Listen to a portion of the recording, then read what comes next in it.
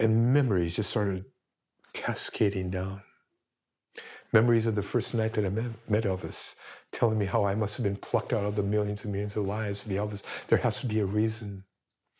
And things of the, of the last 13, 14 years. It was so unbelievable, so surrealistic. At a certain point, I thought, no, wait a minute, this isn't real. He's sleeping. He's going to open his eyes. He's going to imitate Chief Inspector Clouseau from the Peter Sellers Pink Panther movies. Elvis knew all the lines.